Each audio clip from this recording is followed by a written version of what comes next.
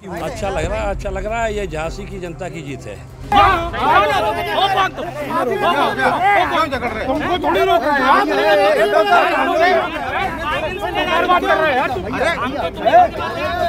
कहते हैं कभी कभी ऊँट पर चढ़े आदमी को भी कुत्ता काट लेता है और मुसीबत कब कहाँ कैसे आ जाए कोई नहीं जान पाता।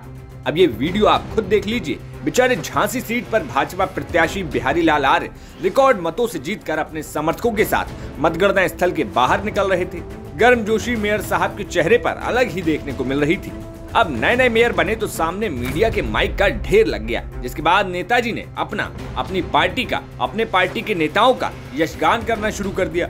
इतना सब तो ठीक चल रहा था, लेकिन मीडिया के एक सवाल पर मेयर साहब के बगल में खड़े भाजपा के ही नेता बिदक गए, और न आओ देखा, न ताओ देखा, मेयर के सामने ही पत्रकारों से जा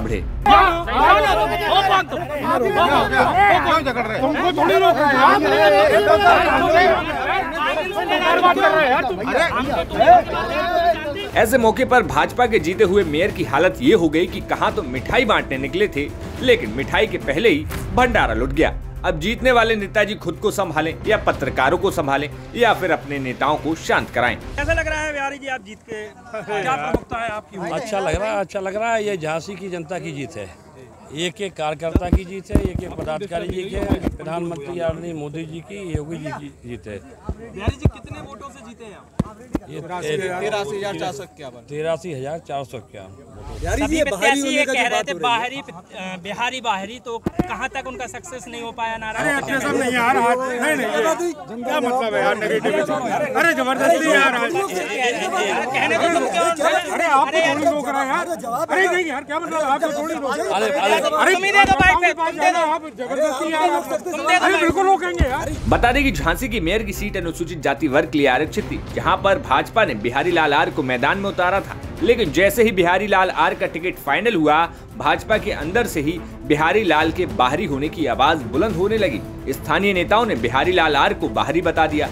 लेकिन जैसे ही बिहारी लाल आर ने तिरासी हज़ार वोटों के मार्जिन से झांसी मेयर पद की सीट जीती, उसके बाद उनसे बिहारी बाहरी मुद्दे पर सवाल पत्रकार ने पूछ लिया। इतना सुनते ही भाजपा के स्थानीय कार्यकर्ता और नगर निगम के कथित ठेकेदार और अन्य भाजपाइयों को ये बात नए नवेले मेयर साहब की शान में गुस्ताखी नज़र आई और पत्रकार साहब पर वो बरस पड़े जिसके बाद पूरे मामले पर चर्चाओं का बाज़ार गर्म हो गया तुम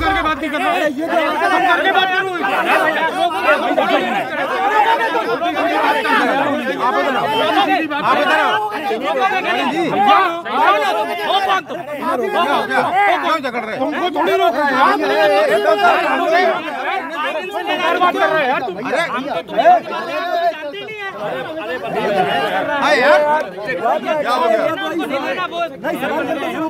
फ़िलहाल जीत के बाद अब सभी नेता मेयर साहब के पीछे पीछे नज़र आ रहे हैं। वैसे मेयर के पद की ज़िले में ताकत भी बहुत मानी जाती है। ऐसे में अब ये देखना होगा कि ट्रिपल इंजन की नई स्थानीय सरकार लोगों के बीच क्या कुछ करती है।